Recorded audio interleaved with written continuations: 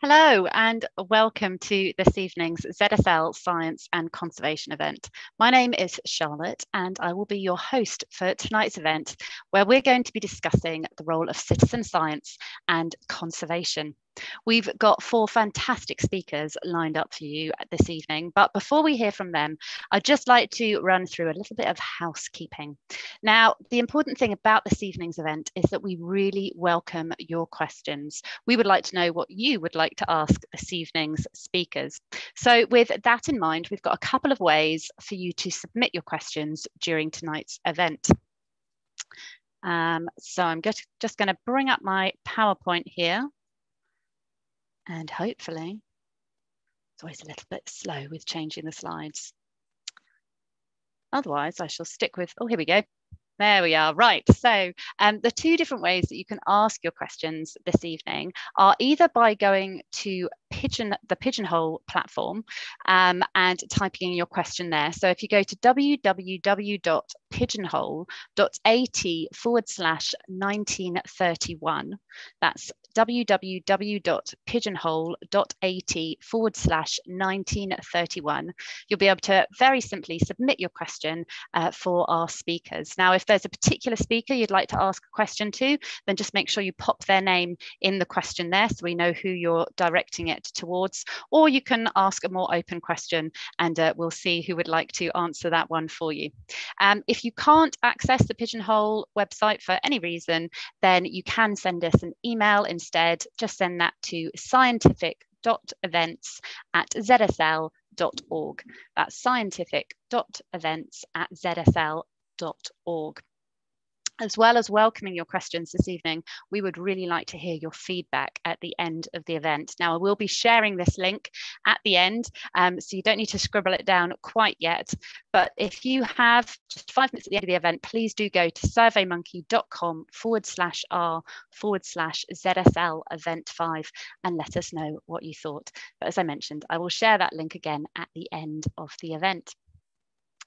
So, as I said before, we've got four fantastic speakers lined up for you tonight. We're going to hear from each of them, and then after each person has spoken, we'll take a, a few questions before we move on to the next, and uh, we'll have more questions at the end of the event too. Our very first speaker this evening is Joe Pecorelli from the Zoological Society of London. Joe is never too far from a paid pair of waders, and he is a ZSL conservation project manager. He is an advocate for wildlife conservation that engages and benefits from the skills, energy, and knowledge of citizen scientists. He's a board member of the Riverfly Partnership, professional eel measurer, and developer of the Outfall Safari, a method for finding and reporting sources of pollution in urban rivers. Joe, thank you so much for joining us this evening. Over to you. Thank you. Good evening, everyone. I should have my slides up now. That's it. Very good. I hope you can all hear and see me. Um, I get the privileged role of uh, really setting the scene for this evening's event, uh, which I'm very pleased to do. Um, uh, and so I'm going to describe what citizen science is and also to use some examples from how we work with citizen scientists here at ZSL uh, to illustrate how we incorporate citizen science in our mission to achieve a world where wildlife thrives. So, in its broadest sense, um, citizen science is the process of involving volunteers in the gathering of scientific evidence and data. But as I think you're going to see as the evening progresses, there are many different types of citizen science project. And I hope that we'll touch on a few of those as we go. And I think it's probably important. Joe, I'm really sorry to, to interrupt. Yeah. I think you mentioned that you've got some some slides, but we can't see any of them at the moment. Oh, that's not great. I thought I was showing my screen. Let me just try again. Sorry about that. No problem at all. Had to happen to someone, and it was probably going to be me. Let's try again. Share screen. How's that now? Yep, I think it's just coming up now. There we go. Um, that's perfect. Thanks, Joe. Oh, I'm so I'm so very sorry. Okay. So yeah, so where was I? So um, citizen science is um, the process of involving volunteers in um, uh, the gathering of conservation or scientific evidence. And I'm just, I've just got a slight problem here. I've got to just move my something over to the other screen. It works so well in the practice. Oh dear. Always the way, Joe. Don't worry. Always the way. Good. Okay. So, yes. Um,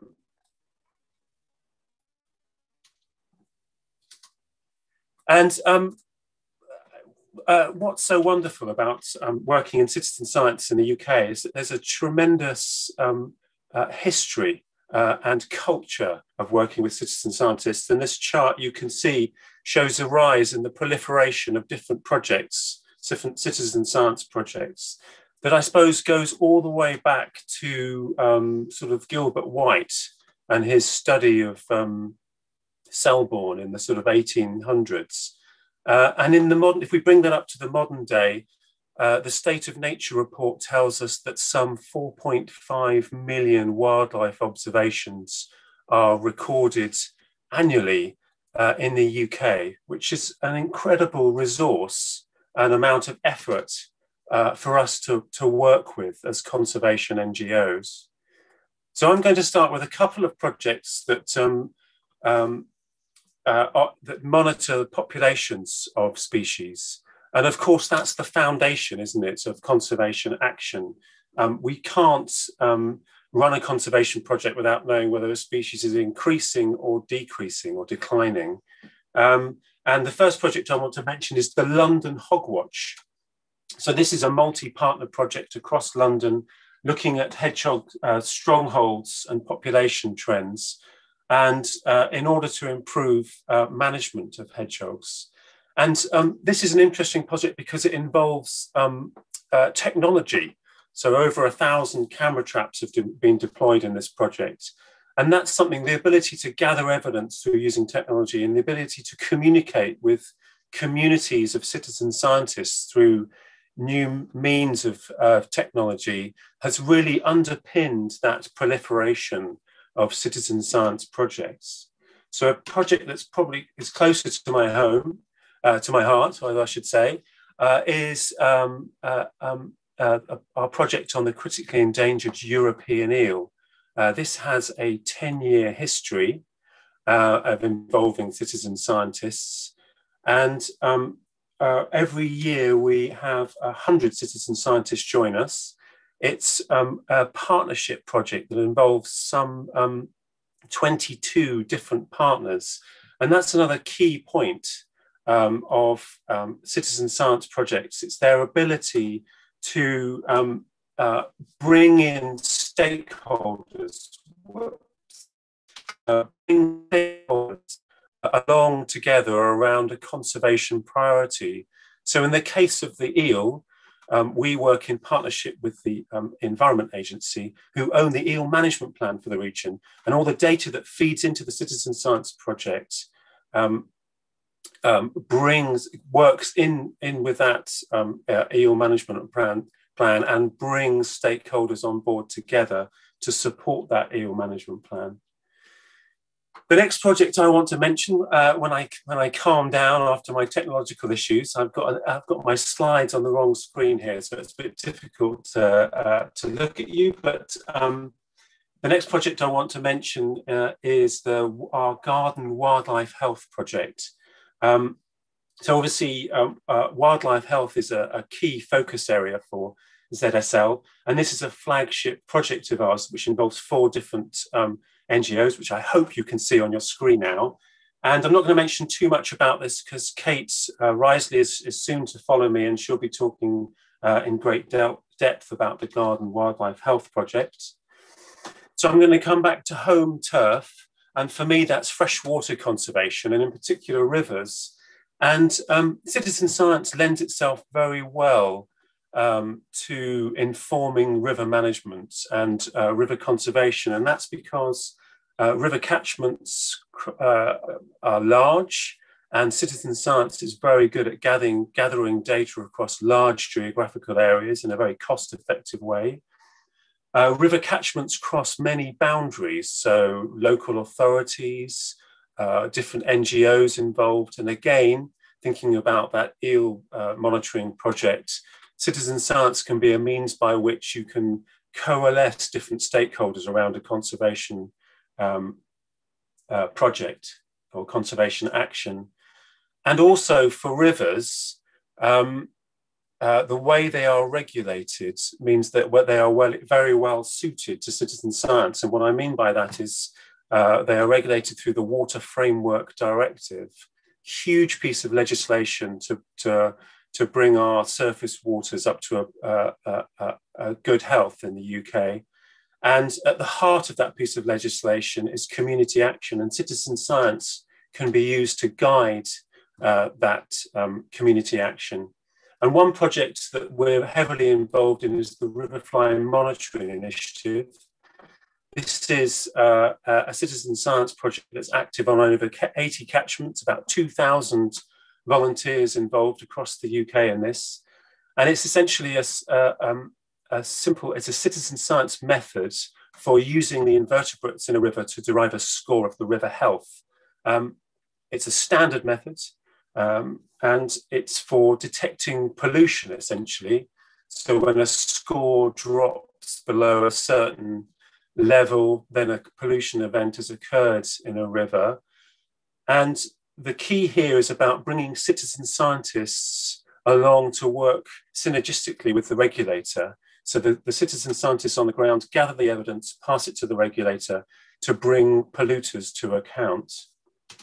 Um, coming from our work with the Riverfly Monitoring Initiative, so we manage the London hub for the Riverfly Monitoring Initiative, along with the partners you saw on the slides.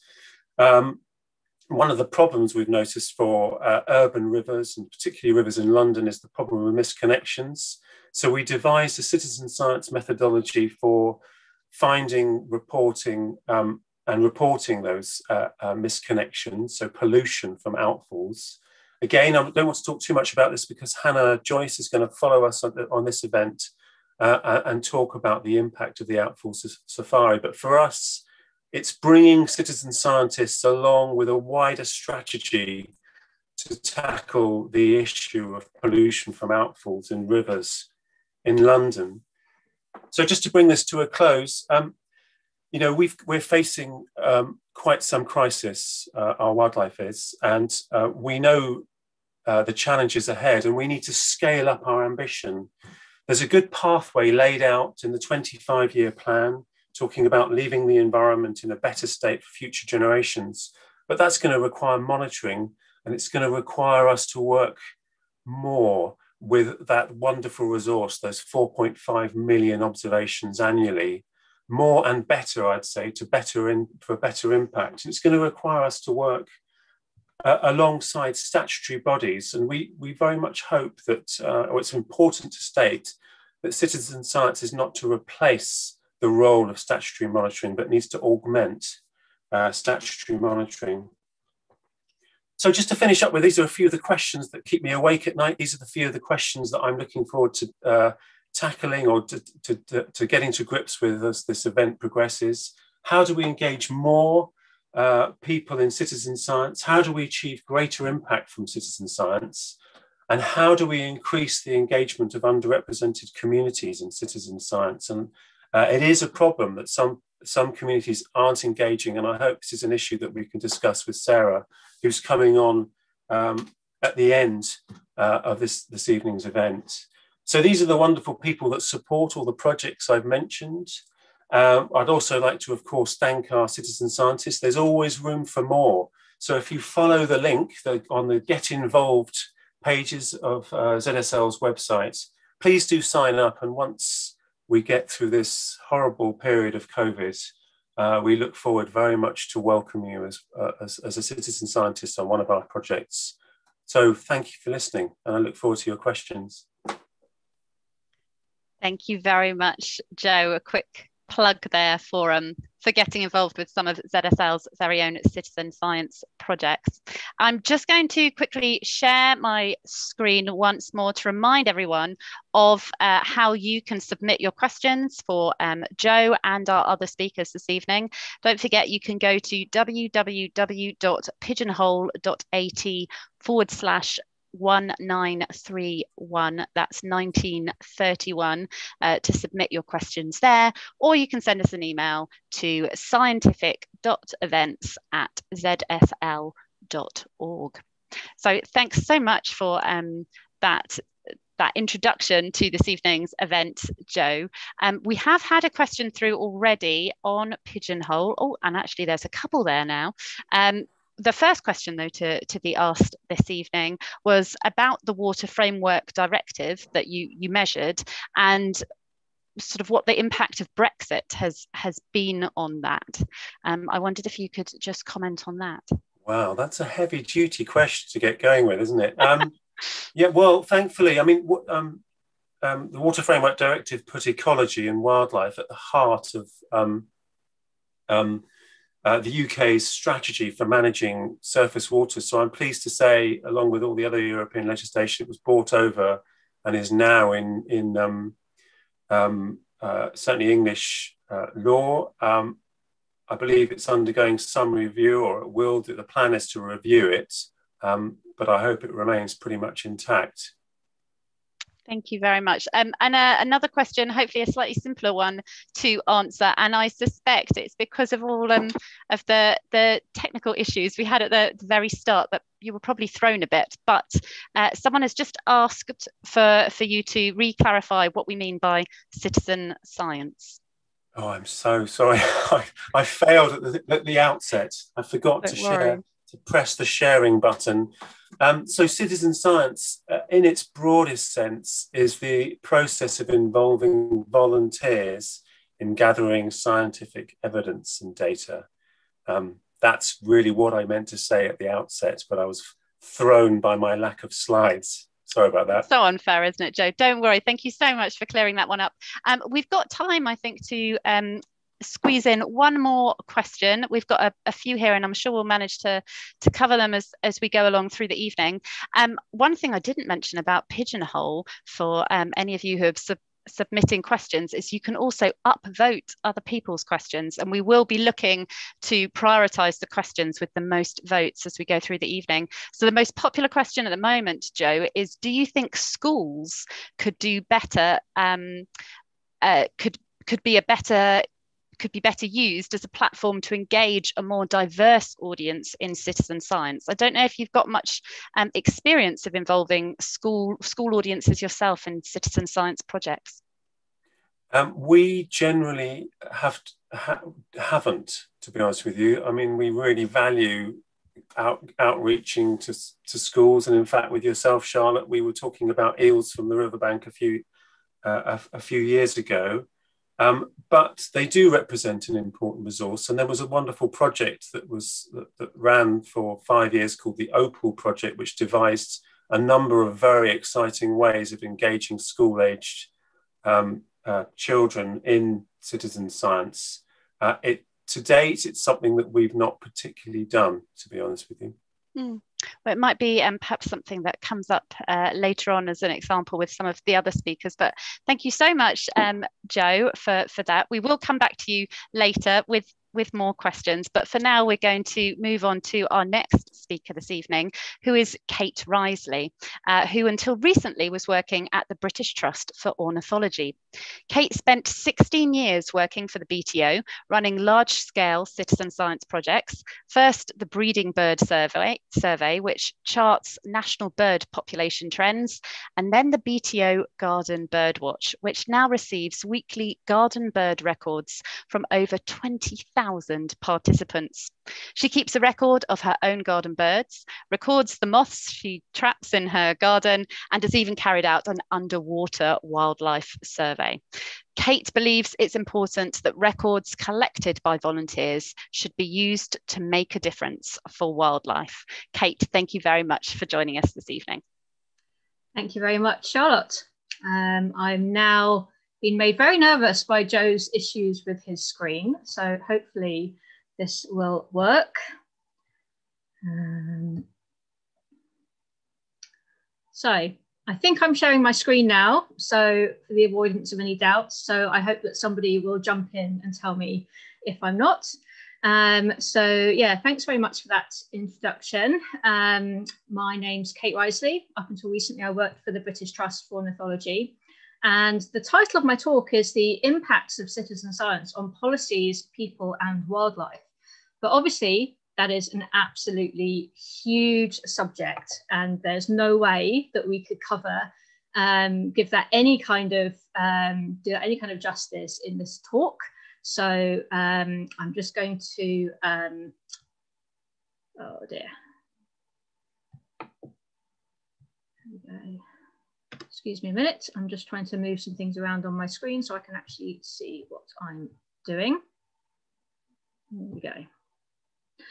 So yeah, what I'm going to um, cover today is not the entirety of citizen science and the impacts of citizen science on the world at large, but I'm going to focus on um, large scale national volunteer wildlife monitoring projects. And I'm talking about the very large scale projects um, because obviously they're the ones that I've been involved with throughout my career. Um, as mentioned earlier, I um, up until recently, I was running the BTO Garden Birdwatch Survey, which is a very large scale um, garden bird survey. And before then, I was running the Breeding Bird Survey, which is where we get our national bird population trends from. And um, just to mention that, you know, just really differentiate these from um, other kinds of citizen science projects. So there are um, projects like some of the ones that Joe was mentioning earlier that um, really bring people on the ground um, together and link them to the outputs of um, the monitoring that they're doing so they can really see the results. But for these very large scale data collection um, surveys, that's not always the case. So the kind of impacts and uh, motivations that I'm talking about here might not apply to all other kinds of citizen science. Um, but the kind of things I'm really talking about today are these kinds of different surveys. So we've got um, a very long pedigree, as Joe mentioned, in this country of um, amateur monitoring of wildlife. And a lot of these organizations, a lot of these surveys have been running for decades. Um, some of the surveys, the bird surveys that the BTO runs, have been running for 70, 80 years. So this is a huge amount of monitoring data. Uh, we found out so much about what's happening in the wild to the wildlife in our country. Um, and the number of people who've taken part in these surveys probably runs into the tens of thousands, maybe hundreds of thousands of individual people who've um, given up their time and their expertise to collect this information.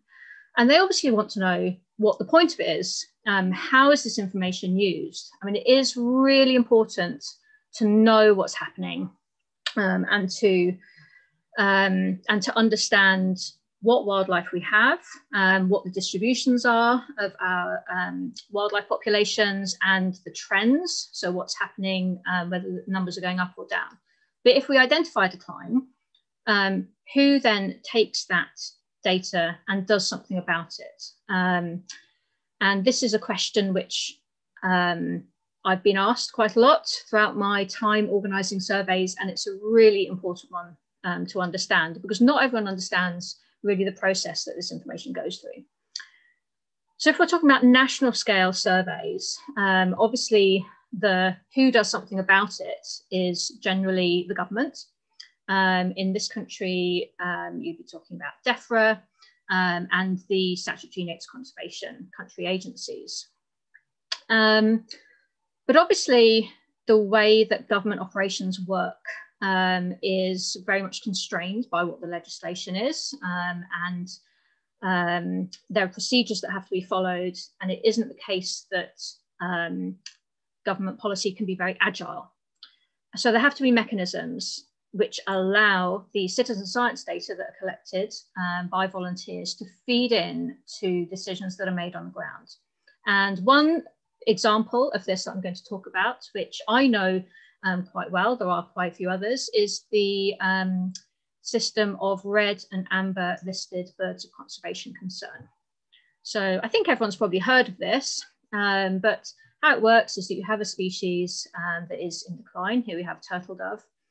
But the only way we know that there's a decline is because people have gone out and they've done standardized surveys, in this case, breeding bird surveys, and they've counted turtle doves and they've recorded those numbers and they've sent those numbers into a citizen science project. Um, and what happens with the breeding bird survey is that every year the um, population trends are published. Um, and then every few years, a group of organizations and stakeholders comes together and updates the lists of red and amber listed birds of conservation concern. And declines are not the only reasons why a species might be a conservation concern. Um, it is one, you know, there are others such as um, the UK might hold a um, significant proportion of the international population, but generally it's the birds that are declining. And I did mention that um, I, up until recently, I worked for BTO, um, and now I actually work for Natural England, and it's been really interesting. Um, and you know, it's really opened my eyes actually to see how much these designations, in particular, you know, for example, the birds of conservation concern, the red and amber list, are actually used on a day-to-day basis for decision making. Um, and obviously, I think maybe the people who are um, making these decisions within government um, aren't always sort of don't always have in the front of their minds where this information comes from. Um, all they need to know is that this is a red listed bird or this is an amber listed bird. Um, but it's been great for me to see um, the sort of full circle, if you like, because obviously I was kind of at the other end for quite a long time, um, you know, dealing with um, the volunteer data and the citizen scientists and collecting that information. So it's been really great to see how it's been used. So um, the kinds of things where government operations, where citizen science really feeds in, um, are, I mean, there's many different ways. Um, obviously, Joe mentioned um, your Water Framework Directive and rivers um, using citizen science. Um, some other areas are obviously citizen science data in terms of particular um, species being present at particular sites um, can be very important for things like site protection. And very often these records of particular species would have been collected by volunteers um, for a survey. That's how we know that something is present. Um, and just so that I'm not mentioning, talking about birds all the time, um, I'm just going to mention um, marine conservation zones and how um, some marine conservation zones in some cases um, are helped, the designation is helped by data collected by volunteer divers, for example. So that's how um, citizen science data can be used in the management of fisheries. Um, agriculture is obviously an area where um, the red and amber lists, um, for example, of birds of conservation concern are used when designing agri-environment schemes. And the and in development, obviously, in terms of um, particularly protected sites, um, sites might have additional levels of protection depending on what species are present. Um, but something else, uh, another mechanism to do with protected sites that perhaps people aren't always aware of is the concept of thresholds. So, um, for example, a site might have an additional level of protection if it holds more than a certain percentage of the national population of that species. Um, and where this really um, comes into play quite a lot might be in estuaries, when it comes to port development, that kind of thing. Um, really have to take into account, for example, the populations of wintering waders and water birds um, and how important the site is for those populations. Um, and the reason why I've got a picture of a nightingale here is that a lot of you might have heard um, a few years ago of the case of Lodge Hill, which um, was a planned housing development. And um, the site received protection because the, um, it held um, more than a certain threshold of the UK's breeding nightingales. And the reason why I'm mentioning these thresholds is that you can't tell whether a site has more than a certain percentage of the national population unless you know what the national population is. And those national population estimates are generally derived from citizen science volunteer data. So it's kind of a, a roundabout route, really, but um, it's actually, if we didn't have that citizen science data, um, a lot of these um, measures of site protection um, wouldn't, you know, we just wouldn't know um, exactly how important each site was because we wouldn't be able to put them in context of the national population. So um, that's one um, very important way that citizen science data are used nationally. Um, I will just quickly mention that obviously if you're talking about national operations, you're generally talking about government, but there are other organizations, other non-governmental organizations, you know, such as the RSPB, that do um, base their policy on um, population trends or information we get from citizen science data. Um, for example, in managing their nature reserves to turn around um, the, the, fortunes of um, endangered species. So um, that all seems very clear. And I've kind of jumped from one step, which is understanding what's happening with our wildlife, to the step of um, putting, like fixing it and saying, well, these are the actions that we have to take to help conserve these wildlife. But another really important step that kind of comes in the middle is understanding what's causing the change. So we say that a species is in decline, um, and it's very easy to just jump straight into a solution. So for example, we might look at house martins and say house martins are in decline. Let's put up lots of house martin nests to help with um, to help their populations. But that won't make any difference to the decline if it if they're not suffering from a lack of nesting sites. For example, it might be that the causes of their decline are to do with their wintering grounds um, at other times of year and nothing to do with what's happening in this country at all. Um, obviously, in a lot of cases, these kind of impacts are cumulative, so you can't always say um, this is the problem and not this, but it's really important to understand things like um, drivers of change of amphibians and reptiles, which is a project that um, the BTO is getting involved with recently. And as Joe mentioned earlier, um, the Garden Wildlife Health Project, which is why there's a very unpleasant, um, poorly looking great Brexit in the center of your screen right now, um, is about understanding the effects of disease on wildlife populations. Um, and citizen science data um, really has a big part to play in these um, understanding why changes are happening. And we, there's no point starting any kind of conservation action until we really know um, why it's happening and what the important point is.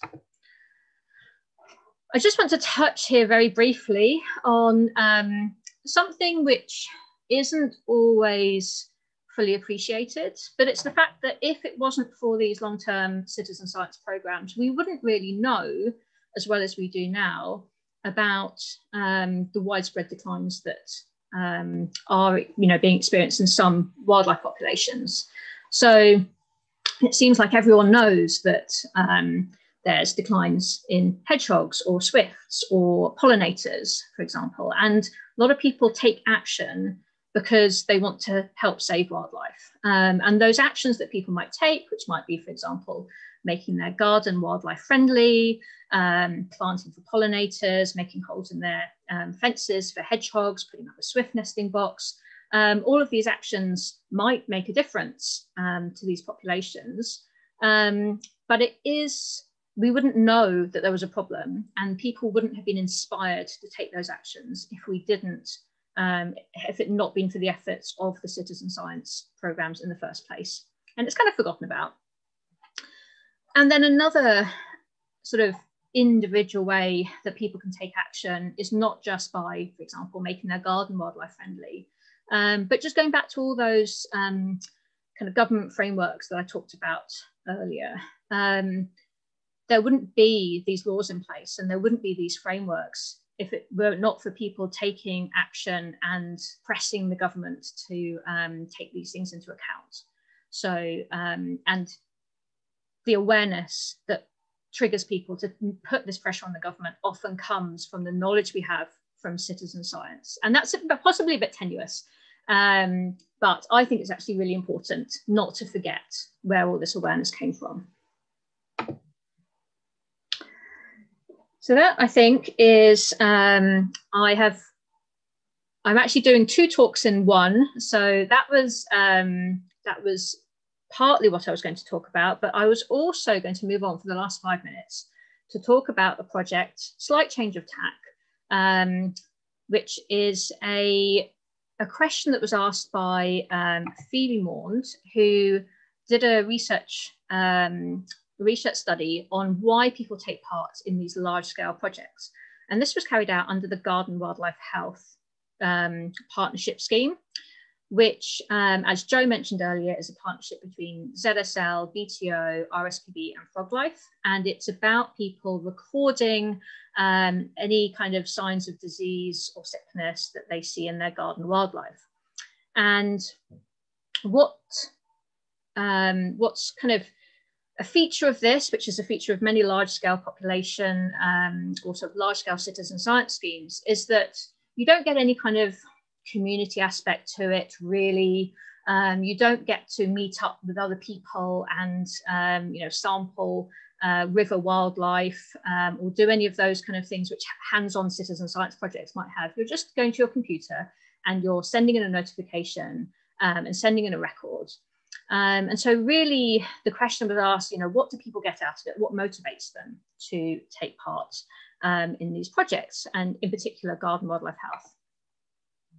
And the sort of main drivers for motivating people to get take part, which was um, you know nicely confirmed what we what we thought we knew, was that it was about partly valuing a desire for knowledge, um, just people really understanding and recognizing that it's important to know. Um, you know, it's really important for people for the public in general to participate, to inform somebody if they see something of interest and to add to our knowledge as a society in general. And people really um, understood the value of that. And also, obviously, they hoped that it would protect, help to protect the wildlife. By taking that action, by taking part in that survey, they wanted to make a difference for wildlife. And here's a nice little quote um, with a sort of pretty unpleasant picture of um, a sick greenfinch. Um, but the quote is, it is important for us to be aware of possible disease outbreaks and to prevent them where we can. Um, and this is why people were taking part in these projects because they wanted to actually um, to make a difference. And this is a graph, um, just very quickly at the end here, from that paper um, led by Phoebe Maund. And it is really showing that safeguarding wildlife, conserving and safeguarding welfare is really people's top um, reasons for taking part in the Garden Wildlife Health Project.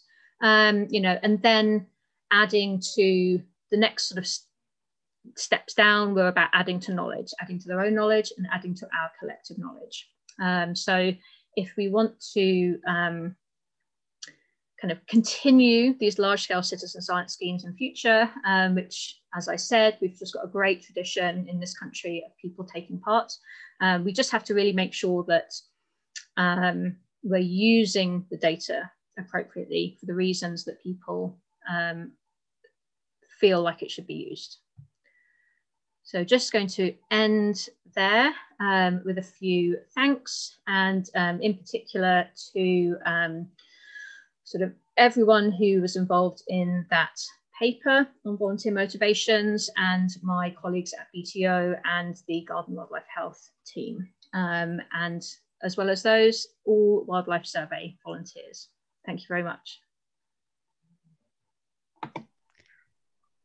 Thanks very much, Kate. That was really interesting. Um, and we've had lots of questions mm-hmm. coming through as well from uh, viewers. So I'm going to try and tackle a, a, couple of those now before we hear from our next speaker, uh, because the most the most popular question by a long shot um, is about the accuracy of citizen science data. Um, in particular, is there concern about the accuracy of the data from large scale citizen science projects, perhaps uh, ones such as the, the BTO um, garden um, birdwatch. I forget i forget the title of the, the project mm. but you mentioned 20000 people in, involved in in that. Uh, how do you how do you deal with it and ensure that the the results you're getting are accurate? Yeah so that's a really um, that's a really good question. I will just clarify um, some very confusing survey names. So we do have the BTO's Garden Birdwatch, which is a weekly year-round survey, not to be confused with the RSPB's Big Garden Birdwatch, which is the one day a year um, kind of over a weekend one that's just happened that obviously um, a lot of people are very familiar with. And um, I would say that um, the there are different standardizations for different kinds of bird surveys, for example. So um, at the one end, you've got um, things like maybe um, casual recording, which is BirdTrack, which is maybe big garden bird watch. Um, and it's sort of useful data, but it's not very standardized. And I think that probably this question is coming from people who don't, who are seeing these kind of um, surveys and I think, well, they're not very standardized. Um, and that's true. And there's lots of things you can get from them, but you definitely can't get um, trends. You can't get confident trends from that kind of information because there isn't any standardization. So that's quite correct. I would say that when we're talking about bird trends um, that are used, for example, in the red and um, and are derived from the breeding bird survey, these are very standardized surveys where um, very experienced um, bird watchers go to a particular site, they walk the same route, they do it every year, they survey in a very standardized way. And they do it on a very large scale as well. So we've got several thousand people who take part in the breeding bird survey. So even if like one survey might be off a little bit, um, overall, overall thousands of people and thousands of um, survey sites that are monitored, we're really confident that we're picking up um, those large scale changes. So yes, for common species, we're very confident in our standardized data. Um, there are lots of there's lots of great information that we can get from the less standardized surveys but those that information wouldn't be population trends. Mm-hmm.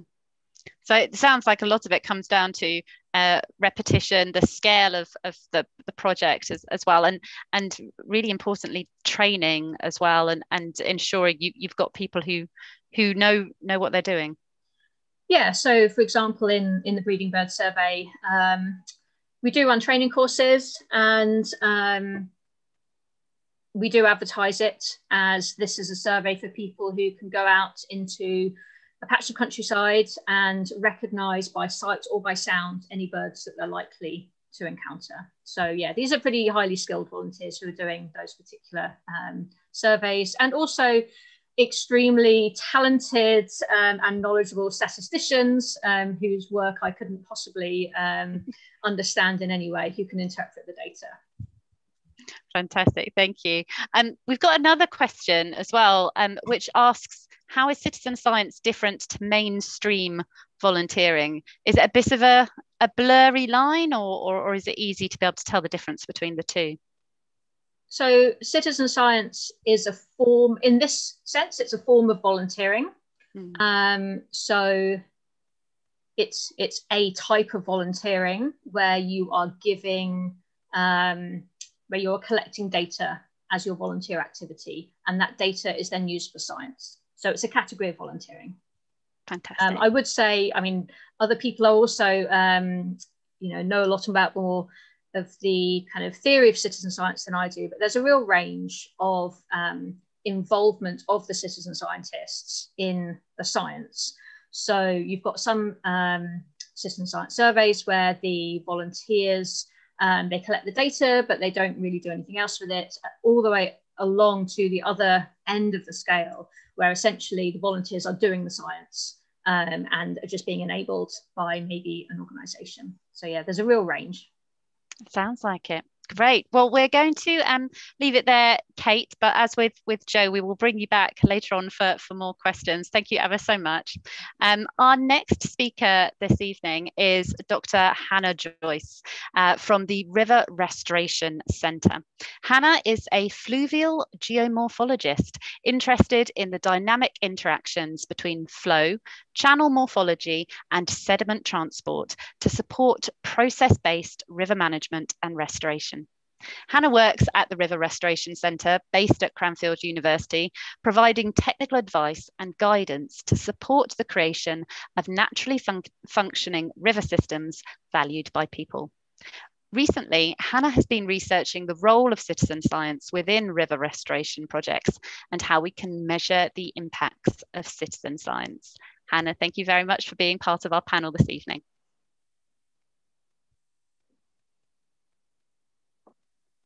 Brilliant. I hope you can all see my screen. So thank you very much um, for inviting me today. So a big thank you to Joe, Charlotte, um, Ellie and the Zoological Society of London team for um, giving me the opportunity to speak um, this evening. And I'm going to be talking about the Measuring the Impacts of Citizen Science project.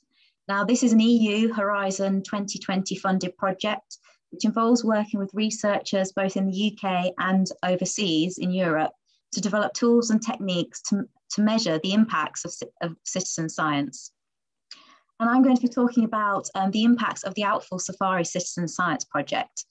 So as Joe mentioned in his talk, Outfall Safari is a great um, citizen science initiative um, and it involves volunteers and citizen scientists um, going out and surveying their rivers and spotting and recording um, polluting surface water outfalls um, to help tackle kind of the is issues of misconnections in urban rivers. So I'd like to talk, start my talk by asking a question. Is citizen science an important mechanism to inform and support our society, governance, the economy, the environment, science and technology? Well, yes, we're all gathered here today to talk about what citizen science adds, who is taking part, and what are the impacts.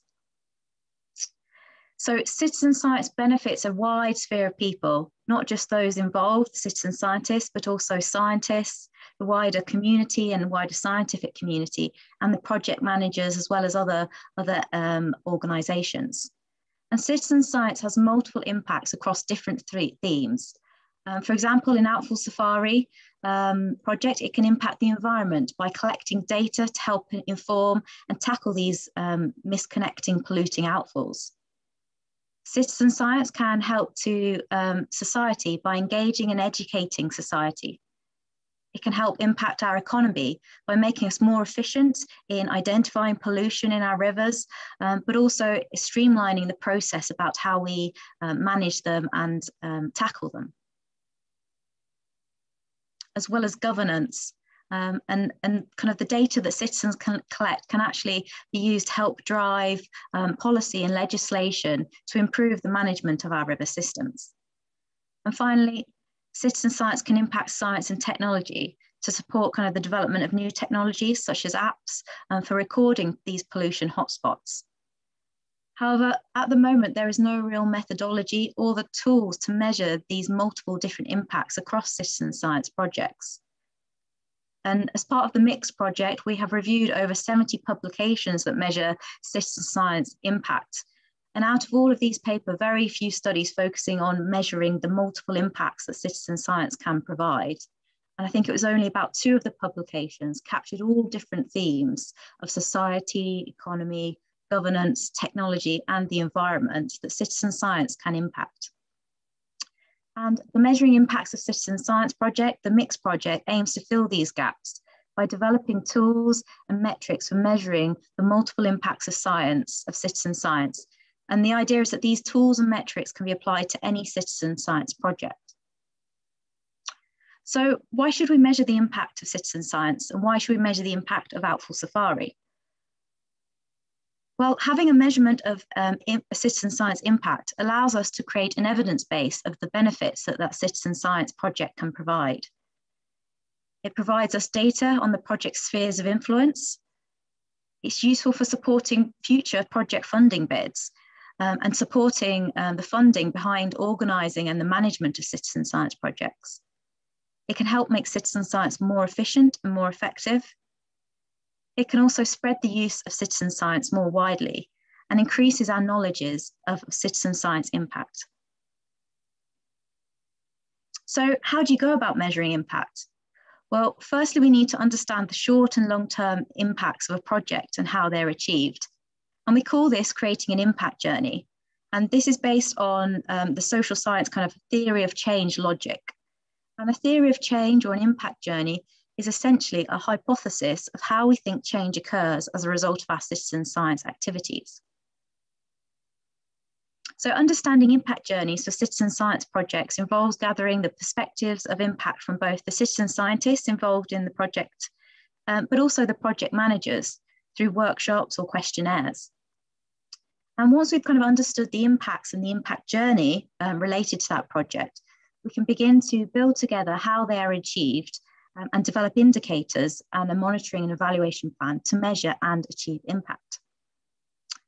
So as part of the, the, the MICS project, we've been running workshops with um, Outfall Safari citizen scientists. We've had face-to-face -face and online workshops where we've been getting the volunteers to brainstorm and document their ideas and what they think are the impacts of the, the data they've collected um, and how they contribute to wider impacts. And this is just a screenshot. Um, we're using virtual post-it notes, um, and it shows all the different thoughts that are going on and the different perspectives of different people. And it's been great to have all the citizen scientists involved. So I'd just like to say thank you um, for everyone that's come along and is taking part in these workshops. So one of the first things we did in the workshop was to ask citizens their motivations. And there are lots of different motivations for being involved in citizen science and Outfall Safari. Some were focused around understanding the environment and improving rivers um, and tackling those pollution incidents. And other, others are interested from more a social side, learning and making new friends.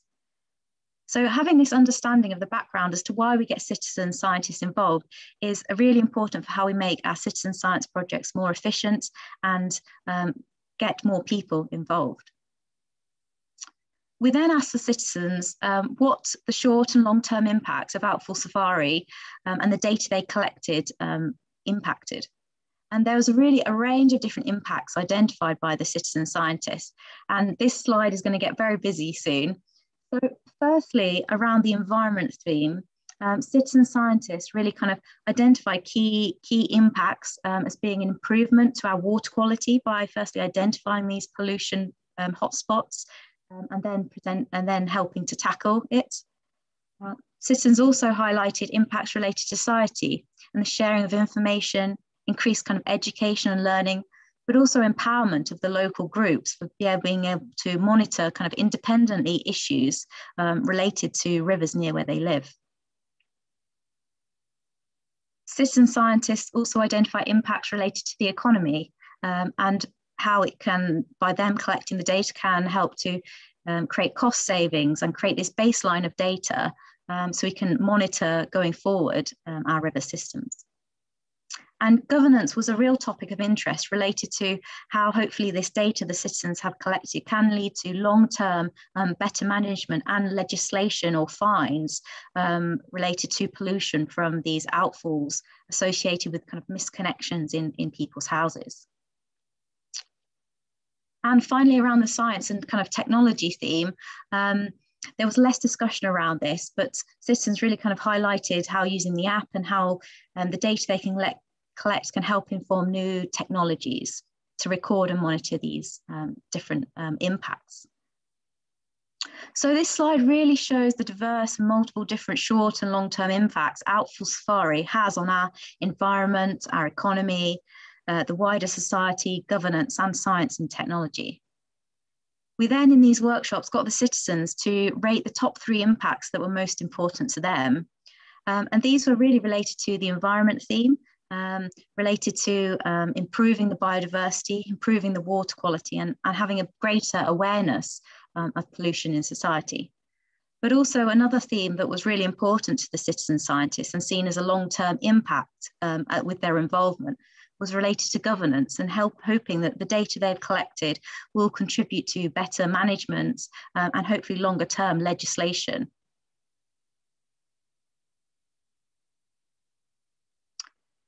So to achieve the impacts of Outfall Safari, um, strategies really need to be put in place um, so we can get to those impacts. So we asked citizen scientists what strategies were needed from their activities to achieve the impacts they'd identified.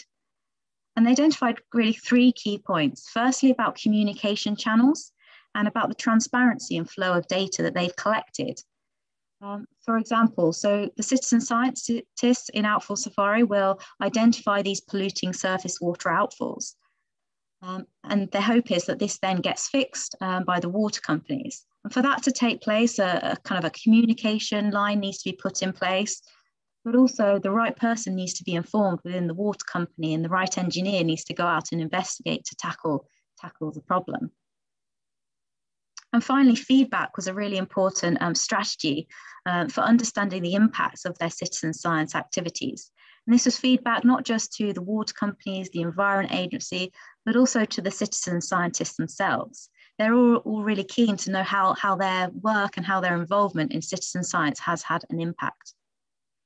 So from these workshops, we begin to develop a kind of a detailed understanding of the, the citizen scientists' perspectives and understanding of their impact from their involvement. So we've got a few next steps going forward as this is an ongoing, an ongoing project. Um, and we've actually got some um, a workshop with the Outfall Safari project managers to brainstorm and think about their impacts um, related to the Outfall Safari Citizen Science Project. We're then going to bring both the citizen scientists and the project managers together and think about how we can develop indicators related to the impacts um, they, they've identified as being the most important um, to develop a, an impact and a monitoring and evaluation plan. And the third kind of next step is we're developing um, an online platform where you can measure impact um, and it will produce an indicator score, as I've shown here on the slide. So just to summarize, citizen science has multiple impacts across multiple different themes. For example, it can impact our environment, our society, um, wider governance, our economy, as well as science and technology. Outfall Safari citizen scientists were most interested in their contribution to environmental and governance impacts and the longer term impacts um, the actions they, they carry out can have. And finally, we've found so far that communication channels are essential for enabling these impacts to be achieved um, and, and to monitor them. Um, so, so that's my talk. So thank you very much for joining. If you'd like to find out more um, about our project, which is ongoing, please get in contact with me or, or, have a look on our website. So, so thank you very much. And I'll hand over to Charlotte now. Thank you, Hannah. That was really interesting. Um, oh, just turn my video back on. There we go. Um, we've got uh, one or two questions coming through specifically for you, but I, I have one just in terms of this sounds like a, a, fantastic example of of how important it is to involve your your citizen scientists in in really understanding the, the impact this work can have. Are you aware of other citizen science projects that have, have done anything similar to this? Uh, no, I'm not aware. Well, we've reviewed we've reviewed the literature so far, and there's not um, many kind of citizen science projects that have looked at the multiple different impacts that citizen science can have. Um, and as part of the, the MICS project, we're actually um, testing and applying um, this methodology on multiple um, citizen science projects. So we're also um, doing it with the Riverfly uh, monitoring initiative in the UK.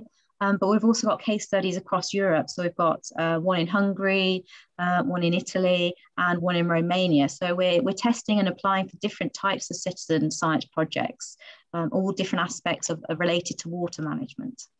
Fantastic. That sounds really exciting. Well, um, one question that has come through specifically for you, uh, Hannah, and I think I can. Uh, oh, let's see if I can find it here because the problem is I think it might have been upvoted and now I've I've lost it. Oh no, there we go. So the question is, when identifying impacts, uh, you asked citizen scientists. Did you also ask those in government, governance, enforcement, economic planning and, and so forth, were, were they consulted as well? Yeah, so that's the next stage of, of the project. So we've actually got a workshop tomorrow with um, the project managers associated with um, Outfall Safari and, and some people from water companies from Thames Water are coming along. So we're going to ask them to brainstorm their impacts as well, and we can compare how they relate to the, the citizen scientists. So that's a really good point, and that's what we are investigating.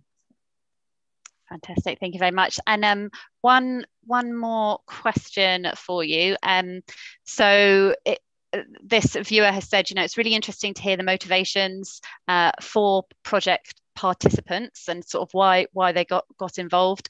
Um, but have you managed to to explore, or do you have any insight into why other people aren't participating in this project in particular, or is that sort of beyond beyond the remit of, of this research?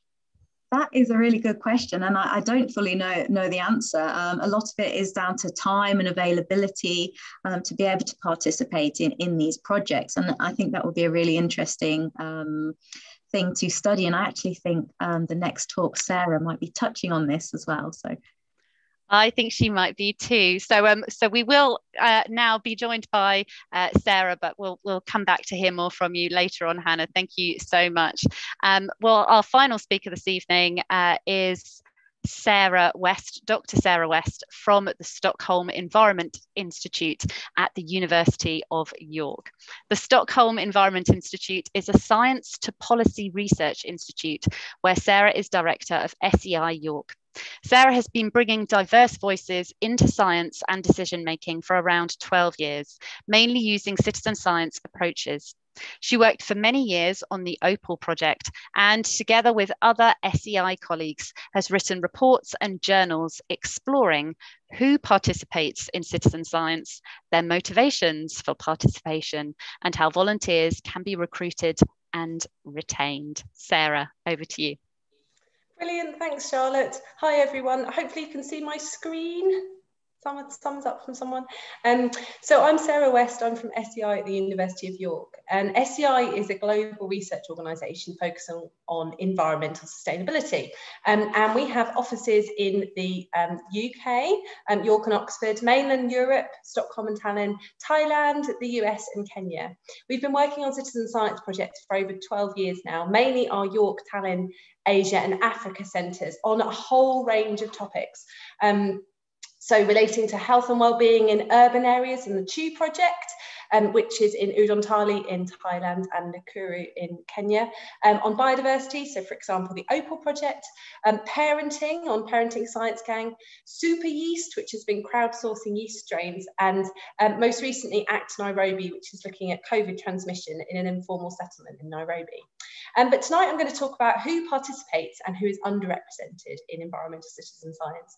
And I'm then going to talk about some of the motivations for and barriers against participation, um, some of which um, Hannah's just talked about a little bit.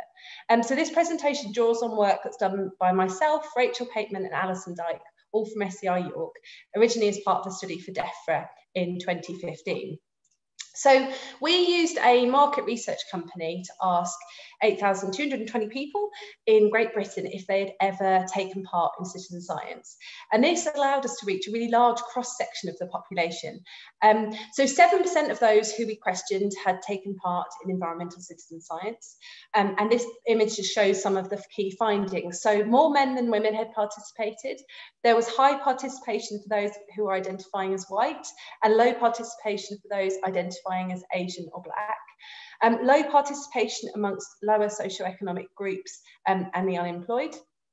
And we also found um, interactions between variables. So, for example, while participation was lowest across both white and minority ethnic groups in 25 to 34 year olds, um, but in white people from older ethnic groups, this increased again, but this upturn was not seen in minority ethnic groups who maintained a low level of participation or dropped in terms of um, the level of participation as they went up the age ranges.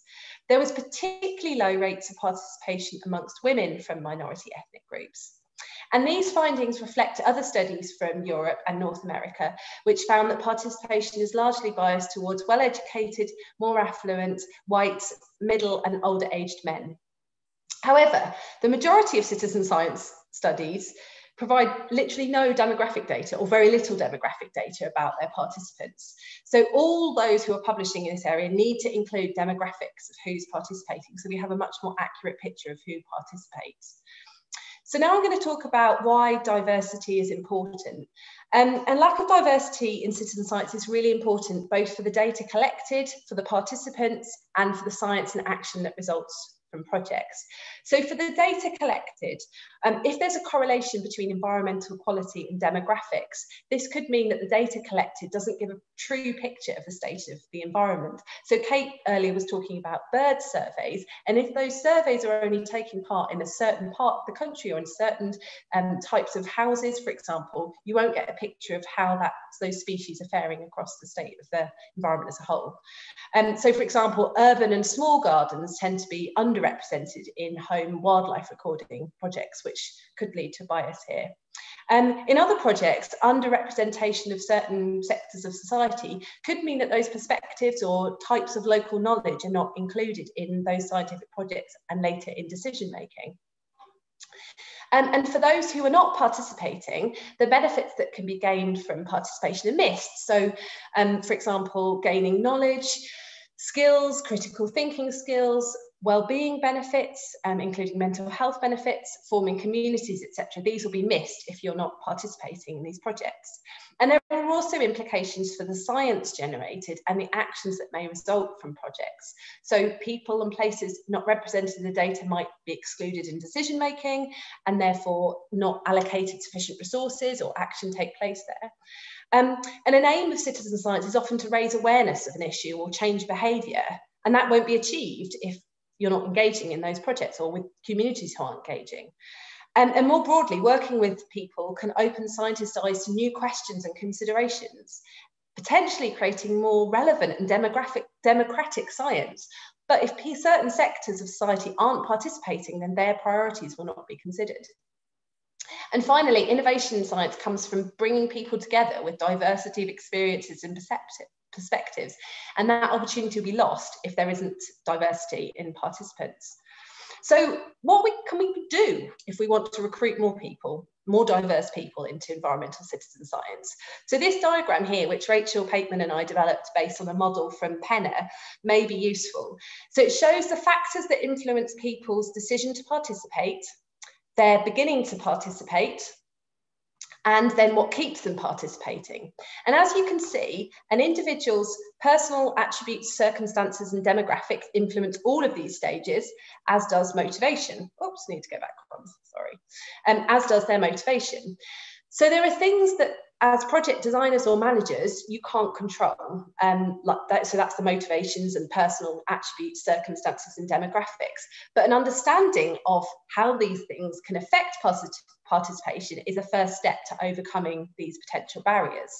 So let's talk about motivations motivations are important to understand in order to recruit people to your project and retain them in projects. So a very widely used and helpful way of categorising motivations is the volunteer functions inventory from Clary and Snyder 1999. And they say that motivations generally fall into six categories, and Hannah talked about some of these earlier. So, understanding motivation is where people want to learn new things. Values is where people have an altruistic concern for others or other or the environment. Social motivation is where people are motivated by the desire to meet new people and because volunteering is a socially desirable thing to do. And enhancement motivation is where people want to improve themselves personally through volunteering. Protective motivation is a bit of a slightly um, unintuitive one, I guess, in, but it's actually where people volunteer to reduce negative feelings um, about themselves or to address personal problems that they might be going through.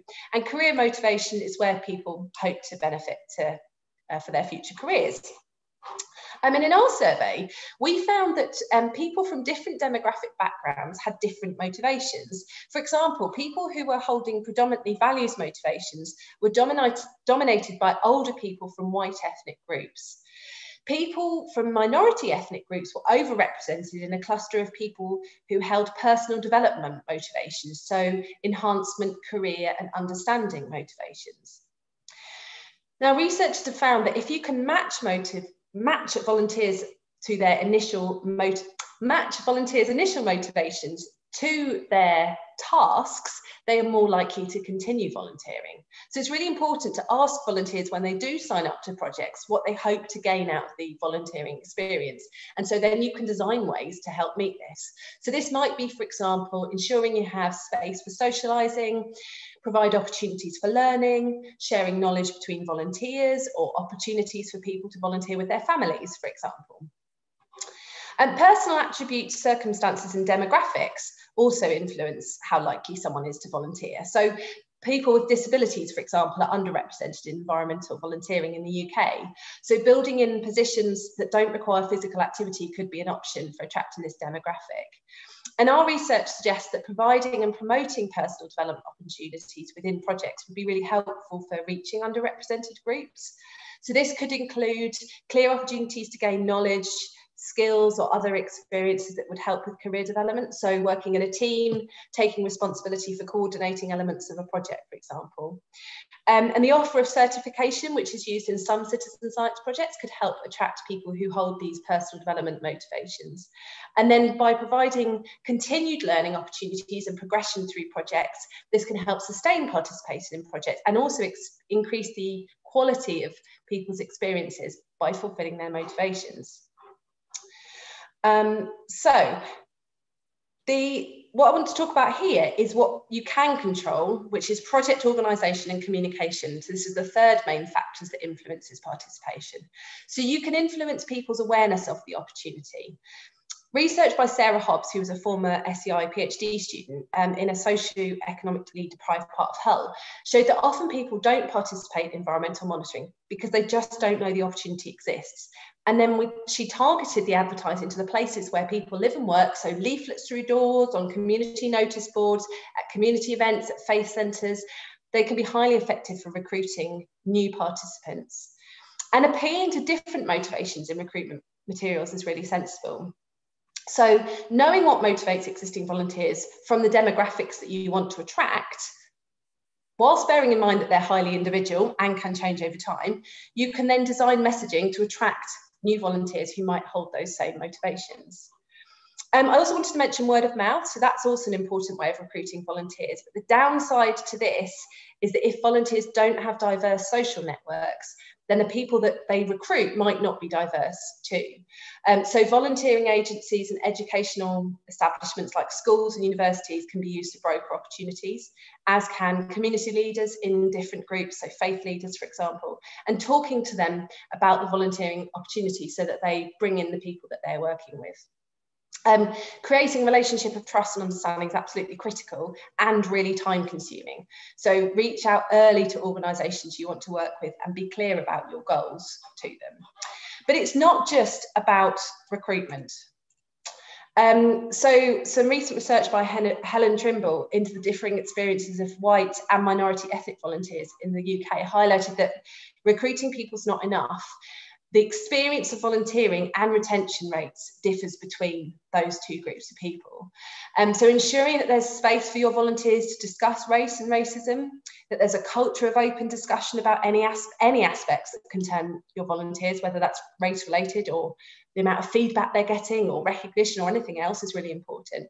Um, and Charity So White is a really useful website and Twitter account to follow relating to race in the charity sector. So I just wanted to summarise then um, the, the things that those of you who are working in the citizen science sector or thinking about working in the citizen science sector, the things that you need to do are to explore and document who's taking part in the projects, discuss with your volunteers what motivates them to take part and what will help them continue, and then use this insight to target underrepresented groups, and then provide ample opportunity for two-way feedback between volunteers and project leaders. Um, so thanks for listening. I can be contacted via my email address, um, which is on my slides, um, or on Twitter, which is Sarah West underscore SEI.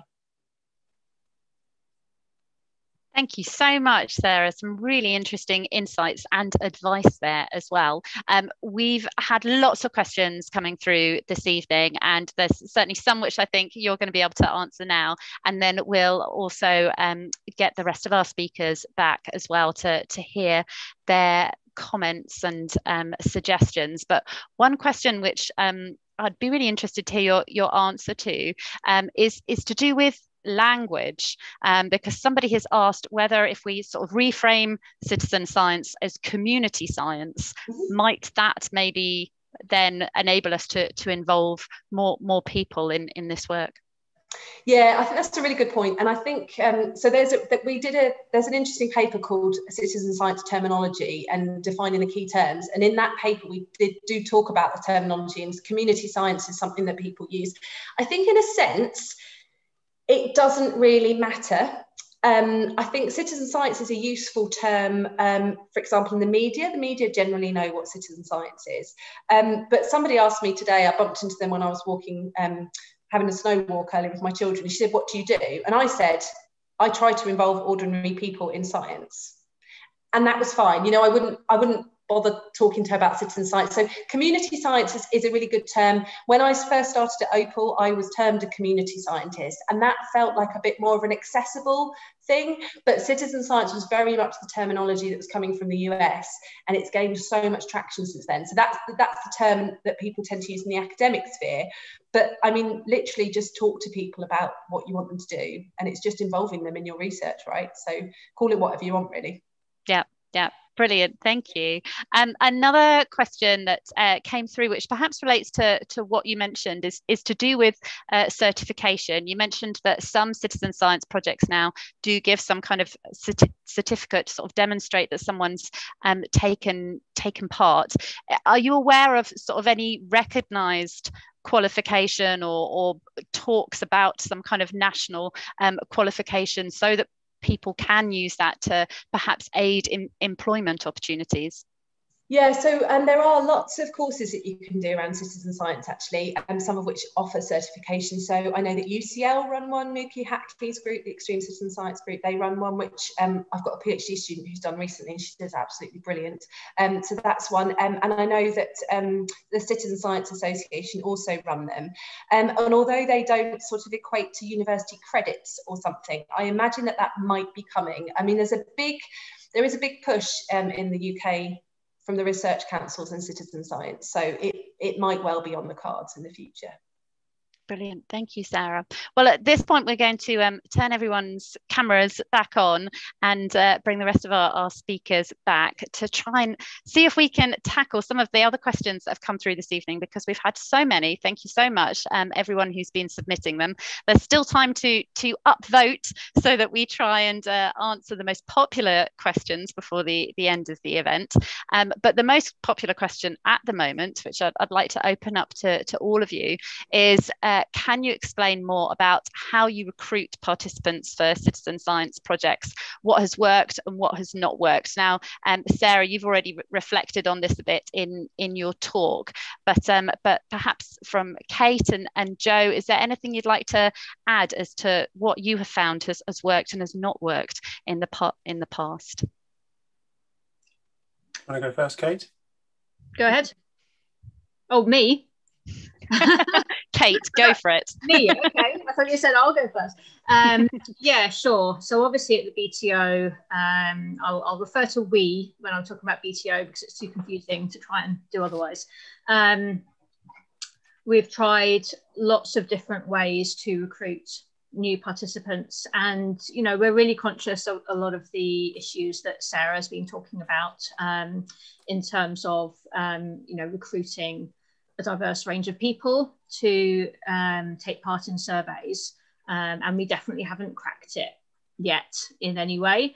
Um, but I think really what worked for us in the past hasn't necessarily worked for us doesn't you know might have stopped working in some ways so i think it's actually been quite interesting that um, you know, just reaching people through the media and through print um, kind of news in whatever way that might be, whether that's through magazines, whether newspapers, um, kind of used to be the sort of the way we generally broadcast and meet new people. Obviously, um, completely um, you know, with word of mouth being the sort of the best way, really. You know, people kind of recruiting through, um, you know, meeting somebody who already takes part in surveys. Mm. Um, but I would say that's maybe not working as well as it used to do. And I think that um, obviously, you know, everything's a lot more digital. It's more social media. It's web um, sort of website advertising, those kind of things as way of reaching people. But I would say that from the point of view of maybe the BTO, um, there's a lot more out there now. I think it used to be maybe quite easy for us um, in that there weren't that many other organizations doing the same thing if you're going back mm-hmm. 20 years or so. Um, whereas now it's a very crowded field, which is obviously great um, for citizen science in general. Um, and I'd say that awareness of citizen science in general is pretty high, um, but for individual projects, I think it's getting harder. Mm-hmm. Um, I'm not sure that really answers the question, but it's a um, a view, a viewpoint. I, I think it's very interesting um, perspective. Thank you, Kate. And and Joe, what about you? Well, I think I mean lots of our projects that um, where we've recruited on a regional scale have largely been about working in accessing community groups, going to visit them on a Friday night in you know a long way away, um, talking to them about what we're doing, why we're doing it, and how they might benefit from being involved. So a lot of kind of legwork and accessing the communities that are directly affected by the problems, and then going up from there all the things that Kate talked about. If you obviously if you've got a national project, you need national exposure through all the different channels that social media, print media. So yeah, legwork is the secret for lots of our projects. Yeah, pays off though. Um, any any other comments on that point before we move on from either you, Sarah, or, or Hannah? Sarah. Um, yeah, I was just going to say, absolutely, legwork is what you need to do, and it's about, like I said, it's about building those trustful relationships with people and speaking to individual people. Um, and it is really time consuming, but if you want to reach people, you need to go to the spaces where they are. So speak to schools, speak to parent teacher associations, speak to faith leaders, put leaflets through people's doors. Those are the things that will reach you new audiences, but it's really time consuming and expensive. People doing that is, you know, if you're paying people to do that, is expensive. So I think people sometimes see citizen science as a cheap way of gathering data, but it really isn't. Yeah, very good point. um, Hannah and and the the rest of you, do feel free to to chip in. Um, there's a question here that asks Is there evidence that participants in citizen science develop more pro environmental attitudes? Is, is that something that, that you saw any evidence of in, in your work? Well, I've definitely seen that um, citizen science definitely show a, a, greater understanding of the environment, and uh, there's a, an education element um, associated with being involved in these projects. And, and for Outfall Safari, um, a lot of them didn't know what a, a misconnection was in plumbing, and um, we had we asked them um, for some feedback, and a lot of them said after they'd been involved in the Outfall Safari in training, they actually went and checked their houses were plumbed correctly.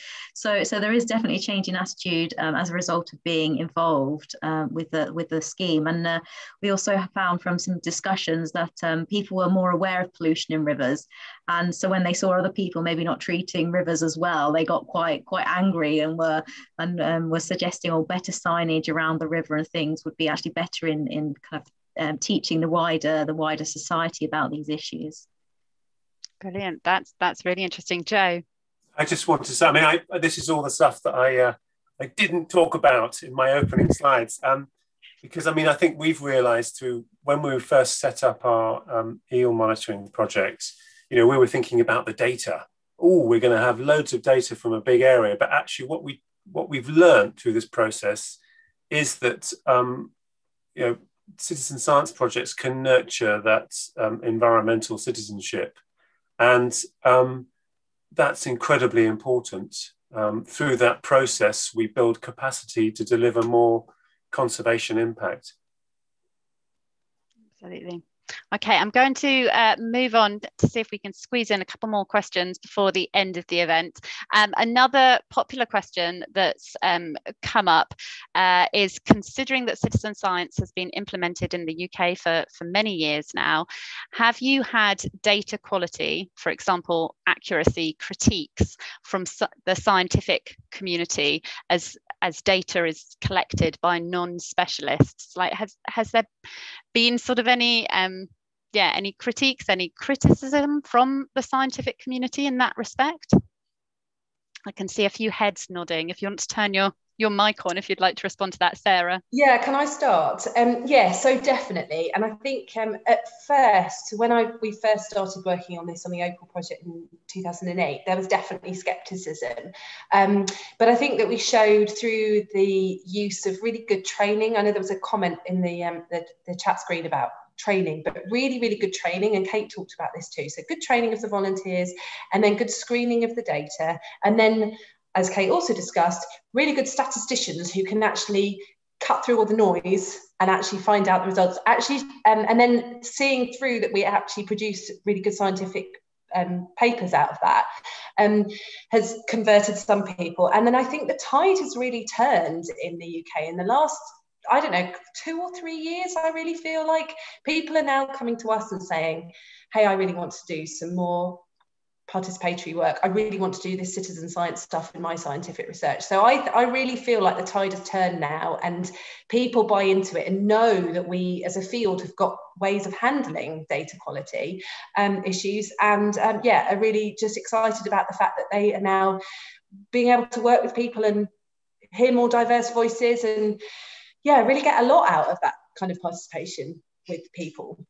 Mm, so they're really able to see the, the benefits. I think um, so, yeah. Would anybody else like to comment on that one? Kate. I mean, I can, yeah, just completely agree with what Sarah has said there. Um, I think from the point of view of the BTO, it's it's always been what we've done. Um, you know, an organisation, you know, that's decades old, um, and that's exactly what we've done all the time. And I think it does need, um, you know, very high level scientific involvement at whatever stage of the process it needs to be. Um, and, you know, not, and I think if you understand that data better than anyone else, you can be very sure about what it's telling you. You have to have a really good understanding of what the limitations of the data are. So just going an example that Sarah um, brought up before um, about, you know, garden surveys that are, you know, based on um, anyone can volunteer in their own garden. Obviously, there's going to be a bias in that data set. Um, it's going to be certain people who are taking part in their gardens, um, and that's very well understood. And it's obviously very important that you don't try and oversell the data as telling you something that it's not. Um, you know, you can't say this represents gardens as a whole. You have to say this is what we've learned through these particular gardens, for example. Um, but as long as that you, as the user, understand the data and you can, and you don't try and put, you try, don't try to get it to say things that it doesn't say, um, then there's no reason for a lack of trust in that way. Brilliant. Well, um, we're coming towards the end of the event, so I'm going to pick one final question for you all, um, which is what are your thoughts on citizen science apps such as iNaturalist and iRecord? And perhaps this feels particularly relevant at the moment because there have been other questions about the impact of, of COVID 19 on citizen scientist projects, many of which often involve actually going out in into nature so does anyone have any final thoughts on on the role of sort of digital um, uh, uh, projects such, such, as as those? Are, are, they something that that work well? I, I, I think we've really really benefited from from new ways of being able to communicate amongst a community of people that develop around a citizen science project. So we've helped, we, have benefited from that perspective what sometimes is a bit of an issue with apps is the is the is the multitude of them, and you're never quite sure the fractionation, I suppose, of of the field.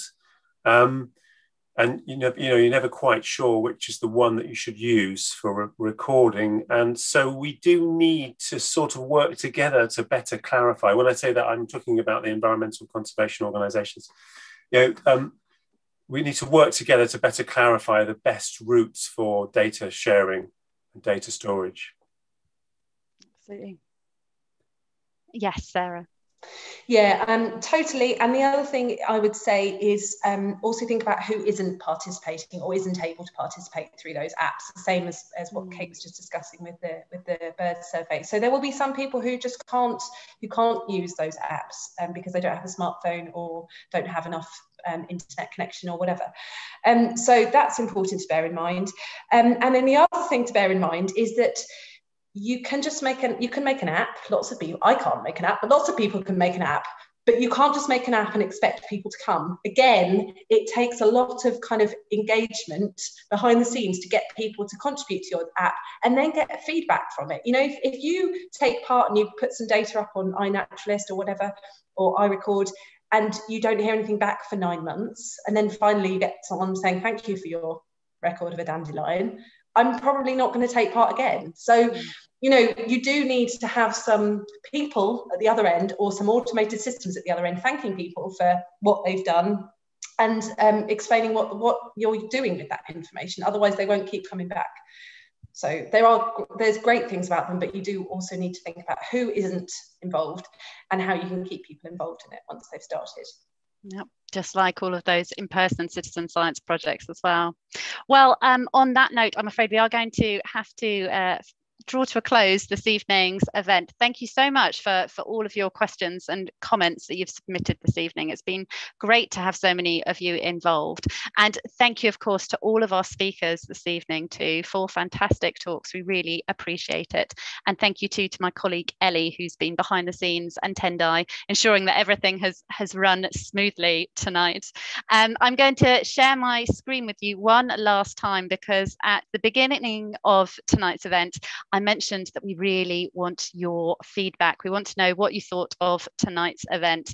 Um, so please do let us know. You can use the QR code that's on the screen now, or you can go to surveymonkey.com forward slash our forward SL event five to let us know what you thought of tonight's event. It's quite a short survey. It shouldn't take long, just um, a few minutes, but it will help us in planning future events. Speaking of which, if you'd like to see what we've got coming up over the next few months, then do go to our website, zsl.org forward slash science events, where you'll be able to find out more about our next evening event, which is next week uh, on Monday, all about island conservation followed in March by Return to the Wild. How can we recover extinct in the wild species.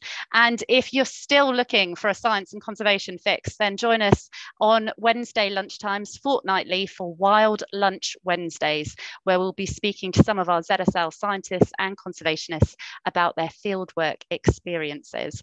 And to make sure that you don't miss any of this in the future, all you need to do is subscribe to our YouTube channel. So press that subscribe button now and uh, you never need miss another event.